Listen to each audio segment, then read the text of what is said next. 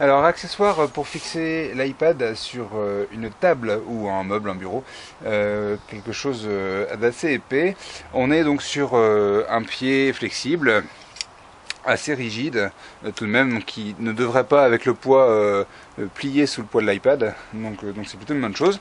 À l'extrémité on a une fixation assez classique pour, pour ce type de support. Si vous avez déjà eu des lampes à bureau dans cet esprit là bah, en fait vous avez simplement une vis hein, et puis un, un, petit patin avec ventouse qui permet de venir prendre en pince le meuble et un support.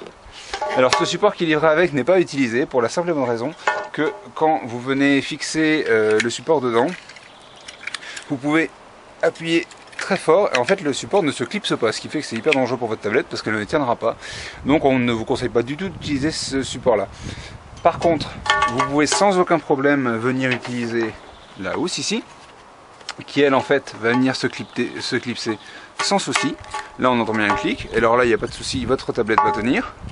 Ou vous pouvez utiliser l'un des autres accessoires du pack même s'il est un peu moins pratique et tient un petit peu moins bien, c'est celui du support, euh, du support de voiture euh, qui lui aussi se clipse bien. Et en fait on va entendre le clip voilà, je sais pas si vous l'avez entendu. Euh, et à partir du moment où ça se clipse, euh, votre tablette sera maintenue. Par contre, on l'a vu avec ce support-là, vous le verrez dans la suite de la vidéo, la tablette ne tient pas dans ce format-là. Donc euh, elle est à tenir à l'horizontale, mais pas, enfin en tout cas en mode, en mode paysage et pas en mode portrait, parce que malgré les patins en caoutchouc antidérapants, l'iPad qui a des bords très très fins n'y tient pas et glisse tout de même. Comme vous pouvez le voir, je suis venu fixer donc le support de l'iPad, enfin le support du support par iPad euh, sur une table, alors assez épaisse. Alors malgré l'épaisseur de la table, le, la vis qui est assez large à la fois au-dessus euh, et au-dessous permet bien, de bien prendre en, tenaille la table et donc euh, le support est stable sans aucun souci, même si on voit en fait le, le support ne tient finalement que sur la moitié de sa largeur, il n'y a pas de souci. Le, le, support, la pince en dessous, la clé permet vraiment de, de, de serrer très fort la table et il n'y a pas de souci pour le maintien de votre lettre.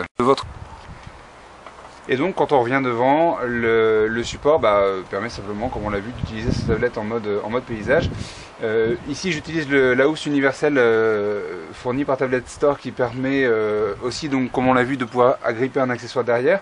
Donc celle-ci nous permet évidemment de venir tourner la tablette sans, souci.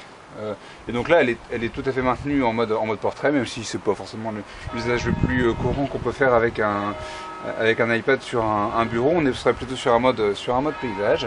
Et comme vous le voyez, ça tient, ça tient assez bien, le support est stable, euh, la tablette ne, craint pas de tomber. Euh, et alors, je ne l'ai pas dit tout à l'heure, mais j'en profite pour le préciser.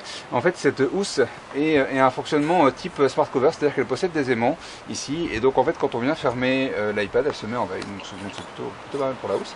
Et finalement, bah, l'iPad, grâce à cet accessoire, peut être utilisé comme un, comme un écran secondaire, voire comme un ordinateur seul, si jamais vous y connectez un clavier Bluetooth.